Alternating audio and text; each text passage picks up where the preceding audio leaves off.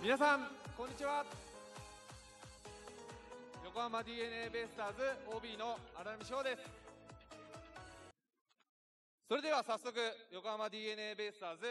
出陣式必勝祈願2022出陣出陣式に参加する選手監督をお呼びいたしております。まず三浦大輔監督です。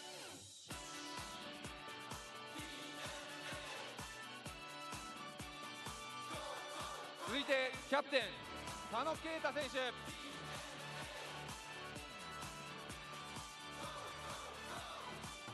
続いて今永翔太選手。続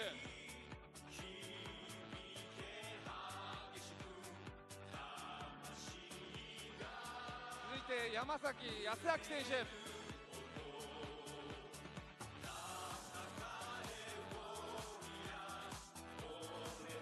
続いて牧秀悟選手です。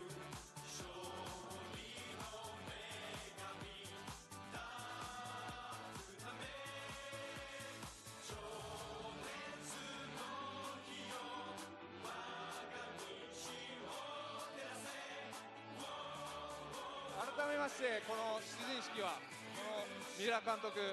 佐野選手今永選手山崎選手牧選手の豪華5人を迎えして行いたいと思います。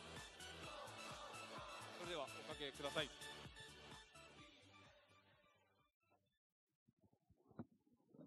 それでは早速お話を伺っていきたいと思うんですけどまずは三浦監督に伺います、はい、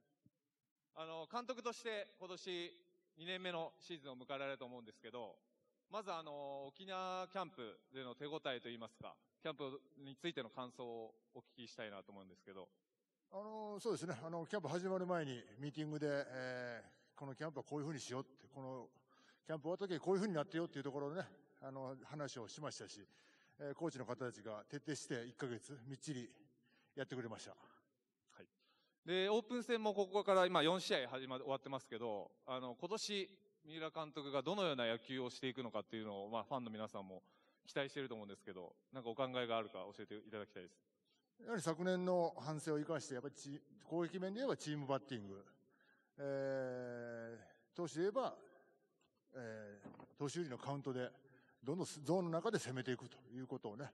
えー、意識して取り組んでます。はい。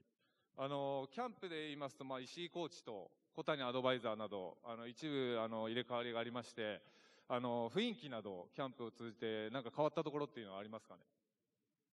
そうですね。あの、帯の方たちが、えー、戻ってきてくれて、えー、今までいたコーチと、えー、しっかりと連携を取りながら、えー、うまくやってくれてます。はい。あの、まあ、試合も始まって、あのー、進塁打であったり、盗塁だったり、すごく、あの、変わった動きがあるなと思うんですけど、それはやっぱ石井コーチが入って変わられたことでもあるんですかね？まあそうですね、石井コーチに伝えて徹底してやってもらってますし、まあバッティングコーチもね、あの、鈴木貴則さん、田代さんというところで、えー、連携しながらね、あの、うまくやってくれてます。はい。あの、またなんかその、ミーティングなどで石井コーチが結構、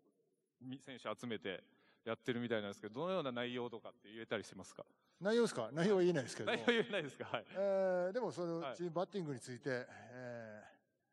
ー、徹底してやってくれてますね。はい。ありがとうございます。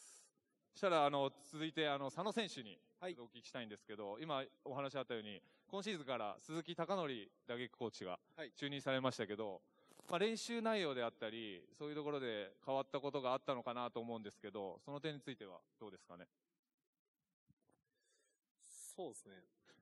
まあ、途中で怪我しちゃったんで、はい。はい、まずは怪我を、はい、しっかり治して、えー、早く万全のプレーができるようになってチームに戻りたいなと、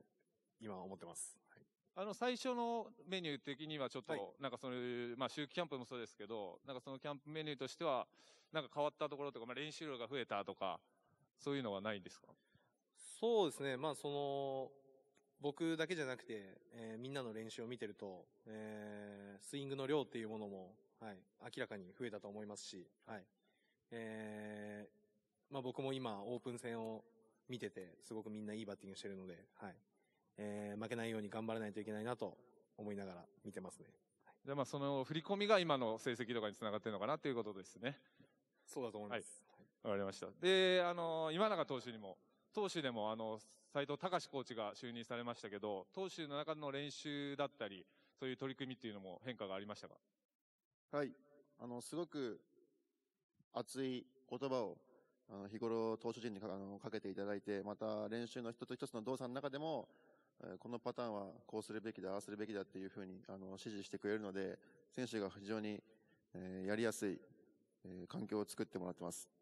ありがとうございます。で、続いてあの山崎選手に聞きたいんですけど、あの、ここまでオープン戦始まって、まあキャンプも終えたんですけど、あの、せ投手陣の雰囲気だったり、そういうのっていうのは今どうですかね？そうですね。環境も変わって、あの、本当にみんな明るく、あの、全員が、ルーキーも、キャンプ、あの、完全に完走してますから、あの、明るい雰囲気の中でできてるかなって、個人的には思ってますね。で、山崎選手にいろいろちょっと聞きたいんですけど、はい。あのーまあ、あのふオフシーズンから、あの、体も絞ったり、まあ、ほその他のこといろいろやられてきたと思うんですけど、はい。その中でやっぱまっすぐであったり、ストレートの質であったり、キレがすごく増してきたのかなと思うんですけど、その点は自分ではやっぱ何か感じてますか？シーズンから本当に覚悟を持って、あの、キャンプに臨んだつもりですし、またここでも、あの、チーム内の競争、勝ち抜いて、またシーズン入る前に、あの、自分自身で自信持ってシーズンに臨めるように、今準備している段階なので、まあ、ここまでは、あの、順調ですけど、この先が本当に大事になってくると思うので、気を引き締めて頑張っていきたいなと思ってます。はい、ありがとうございます。そして最後にあの、牧選手ね、あの、昨年はもう本当にセリーグ、セントラルリーグの特別新人賞も受賞されて、もう誰もが言うルーキーイヤーがもう素晴らしかったと思うんですけど、まあそのルーキーイヤーを終えて2年目のキャンプっていうのは、やっぱ1年目と多分違う入り方だと思うんですけど、振り返ってみてどうですかね？はい。えー、まずあの、コロナウイルスに感染してしまい、えー、合流が遅くなってしまったんですけど、えー、まあファームの方でしっかりこう自分のペースでできましたし、一軍に合流しても、あの、チームの雰囲気に、えー、早く馴染めて、こう、より、去年よりも充実したキャンプになったのかなというふうには思っています。あと、もうこれはね、周りから結構言われてるかもしれないんですけど、やはりあの、2年目のジンクスってよくこのプロ野球界では言われたりするんですけど、それが気になっているのか、なんか対策してるっていうことはあったりしますか？まあ、やっぱりあの、言われているので、まあ、す少しは気になっているんですけど、まあ本当に去年の通り、えー、自分のペースでやっていければいいのかなというふうに、はい、思っています。なんか今永選手が言いたそうな感じで見てましたけど、はい、大丈夫ですか？いや、彼に2年目のジンクスはないと思います。そうですね、本当に、まあ昨日もね、2安打打ってましたし、あの、沖縄でもライトにね、豪快なホームラン打ってるのを見ての見てましたんで、まあ本当にまた、この浜、あの横浜スタジアムで豪快な打撃を期待しております。はい。はい。で、ちょっとね、ここからはなんかファンの皆さんを代表してじゃないんですけど、そういう目線でちょっと質問したいんですけど、ちょっと今永選手ね、あのーキャンプ終盤ですかね、ちょっと怪我の方もあったと思うんですけど、今現状、ちょっとどんな状態なのかなっていうことが、ファンの皆さんもちょっと気になってるとは思うんですけど、言える範囲でよろしくお願いします。はい、あのーキャッチボールも始めてますし、あの、順調に来てるので、あの、今、先発投手陣、非常にいい状態の選手がたくさんいるので、あの、そこに割って入れるように、あのーひたむきに努力したいなと思います。はい、ありがとうございます。まあ、一日もね、早くまたこのハマスタで、あの、エースの投球を見せてもらいたいなと思います。で、もう一人ちょっとね、佐野選手にも、やはり聞いていきたいんです。現状をちょっと教えていただきたいです。えー、バッティング練習、そうですね、えー、もう始めれてるので、はい、えー、しっかりと、えー、強いスイングできるようになって、えー、試合に、えー、出られるように、はい、えー、やっていきたいなと思ってます。はい、そうですね。本当に今も心強い言葉が聞けたので、あの、ぜひね、あの、開幕に合わせて帰ってきてほしいなというふうに思っております。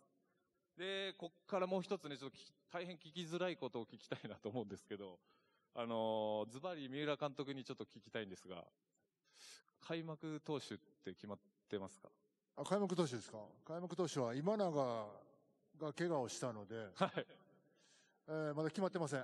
決決まってないですか、はいまあ、今永投手のせいで決まってないということですかね。まだ決まってません。はい、現状は。はいそうですよね。なあと、まあ、イメージっていうのはあるんですか？今、まあ、何人かなのか、今現状で候補といいますか、本当に横一線であれなのか、ちょっと大体イメージがあるのか教えていただきたいんですけ候補ですか？ど。はい。候補、5、6人いますけどね。あ、5、6人はいるんですか？はい。先発投手の中から今、考えてるところです。はい。で、それって大体、どのあたりで、こう、決めようみたいなのはあります？まあ、そうですね。来週ぐらいには決めとかないといけないなとは思ってます。まあ、それはもう監督自ら決めて、やっぱ本人に伝えるってことですよね。はい。その予定です。そうですね。はい、すいません。なんか、あの、いろいろと聞きづらいことまで聞いてしまったんですけど、あの、ここからね、本当に今、どのポジションでもね、ライバル争いといいますか、レギュラー争いが激しいので、ファンとしても、あの、期待して見ていきたいなと思います。で、ここから最後にね、お越しいただいたファンの皆様に、佐野選手が代表して一言もらえるかなというふうに思います。はい。えー、まあ、まず個人的なことなんですけど、えーしっかりと怪我を治して、えーチームに戻れるように、はい、えー頑張っていきたいと思います。そして、えー今シーズンも、えーもう開幕まで、えー残り日数少ないですし、えー熱い応援をよろしくお願いします。はい、ありがとうございました。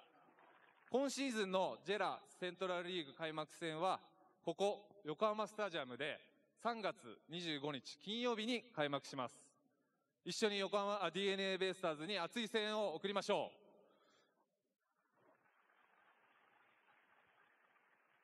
う。三浦監督、佐野選手、今永選手、山崎選手、牧選手、ありがとうございました。大きな拍手でお送りください。